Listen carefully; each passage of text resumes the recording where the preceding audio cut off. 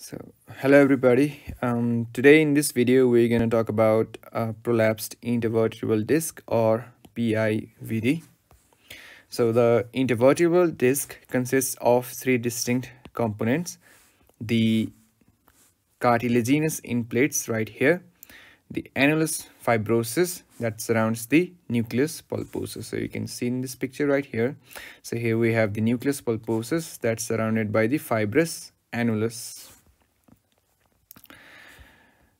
the nucleus pulposus it's uh, derived from the embryonic notochord and it's a gelatinous material that is surrounded by ring of fibrocartilaginous tissue called annulus fibrosus.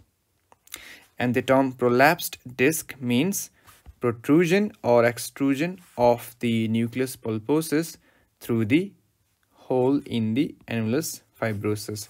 So normally the nucleus pulposus is confined within the annulus fibrosus, but if this herniates out of its position through the annulus fibrosus, then we call it as prolapsed intervertebral disc.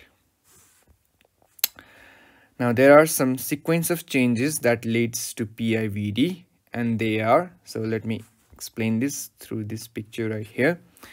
So in first, at first we have this stage of degeneration where the uh, nucleus pulposus gets fragmented or degenerated along with the annulus fibrosus. So the annulus fibrosus also becomes weakened. In the stage of protrusion, uh, the fragmented piece of the nucleus pulposus uh, protrudes out of the joint space and uh, it's known as prolapsed disc uh, in the next we have the stage of extrusion where the prolapsed uh, disc it comes in contact with this posterior longitudinal ligament but it's still uh, it is in contact with the parent disc okay? So it has not completely lost its contact with the parent disc and this is known as extruded disc. At last in the stage of sequestration the fragmented piece of the nucleus pulposus comes out completely and it uh, completely loses its contact with the parent disc and it's known as sequestrated disc. After that, we have the stage of fibrosis or the stage of repair. In this stage, the residual nucleus pulposus becomes fibrosed along with the extruded nucleus pulposus which also becomes flattened and fibrous and later on it undergoes calcification and this can lead to some symptoms. A few things to note here is that the usual or the most common site of exit of nucleus is the posterolateral part of the vertebra. And the commonest level at which the disc prolapse is seen are L4 to L5 and C5 to C6. L4 to L5, it's because this is the most weight-bearing part of the vertebra and C5 to C6 is because these are the most mobile areas of the vertebra. Now let's talk about some secondary changes that are associated with the disc prolapse. At first, we have the uh, changes in the structures that occupy the spinal canal. Now we know that spinal cord runs through the spinal canal and there are several roots, the nerve roots that come out of this spinal cord. So when there is prolapse of the disc, then there is there can be compression of the nerve roots that are arising from the spinal cord. And the nerve roots that arise from the lower part is affected. Like uh, if you look at an example, if the disc prolapse is between L4 to L5. Okay, so if the disc that is present between the L4 and the L5 vertebra, if this disc uh, it uh, prolapse or it protrudes out, then the nerve root arising from the L5 is affected, whereas the nerve that's arising from the L4 is not affected. Uh, the pressure in the roots of the cauda equina uh, by a sudden large disc prolapse may present as cauda equina syndrome. Now we know that uh, in the distal part of the spinal cord, there are some uh, tuft of uh, nerve roots that's coming out and this part is known as cauda equina because it has it gives an appearance like that of horse tail so when uh, the disc prolapse when the prolapsed disc compresses this part of the spinal cord then this can give rise to uh, cauda equina syndrome there can also be changes in the intervertebral joints. The loss of part of the nucleus pulposus and its fibrosis can lead to loss of height of the disc that can affect the posterior facet joints okay? So if we come back to this picture right here you can see uh, there is this intervertebral disc and when there is loss of or the prolapsed intervertebral disc then the height of this disc it's reduced and with that the uh, vertebrae they come down like that and if that happens then the facet joints that's uh, present posteriorly then this joint is affected and when there is pressure in these joints the cartilages uh, that are present within this joint are uh, gets degenerated and this can lead to degenerative arthritis. Now on to the diagnosis the ct and mri uh, confirm the diagnosis but we can also look uh, this disease from the clinical view. So this disease can present with some clinical features such as low back ache. Obviously, this is a disease of spine, so there is a back ache which may be acute or chronic. And the movement is very painful due to spasm of the spinal muscles and this pain can radiate down the back of the leg which is known as sciatica or we can also describe it as sciatic pain and it's due to compression of the sciatic nerve by the prolapsed disc. The nerve root of the sciatic nerve is L4 to S3. If the sciatic nerve is compressed at the level S1, then the pain radiates to the posterolateral calf and heel.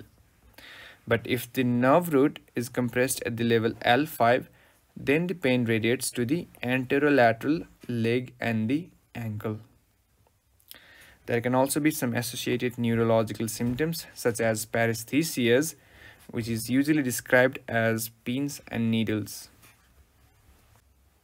Now under examination, we look for posture, which is a rigid flattened lumbar spine, as you can see in this picture here and so there the lumbar spine it becomes flattened which is usually described as loss of lumbar lordosis or the whole trunk is shifted forward on the hips. You can see the trunk is shifted forwards or the trunk is tilted to one side. You can see the trunk is tilted to one side which is described as scoliosis. The movement is restricted due to spasm in the paraspinal muscles and there can be diffuse tenderness in the lumbosacral region as well. Now some special tests can be done to diagnose the PIVD. One of them is straight leg raise test, SLRT or stretch test. So in this test, uh, the patient is asked to lie down on a couch and uh, his affected leg means the leg where the pain is felt is lifted up gradually with the knee straight. So the knee is kept in extended position and the hip is uh, lifted up. And the patient complains of pain or stretching at the back of thigh or the calf not in the knees if there is presence of uh, prolapsed intervertebral disc. Okay?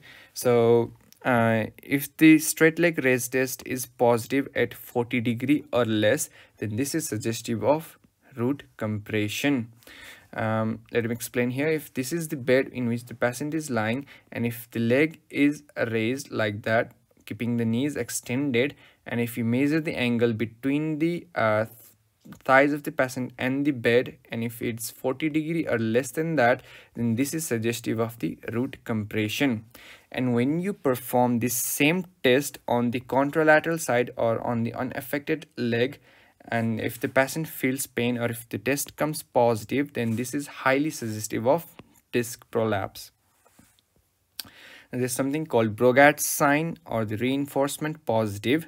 So in this case what you do is that uh, when you raise the leg of the patient and if the patient uh, feels the pain or when the uh, straight leg raise test is positive then you gradually lower down the leg to a point where the patient feels no more pain at all and at that point and keeping the leg at that point when you dorsiflex the leg then the patient will again feel the pain and this is known as Bragard sign and presence of Bragard sign aids in the diagnosis of the prolapse intervertebral disc.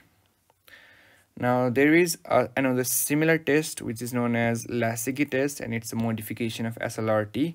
Now in this test, unlike the straight leg raise test, the knee is actually bent. Okay, so the knee is not extended, the knee is flexed and then the hip is lifted up to 90 degree.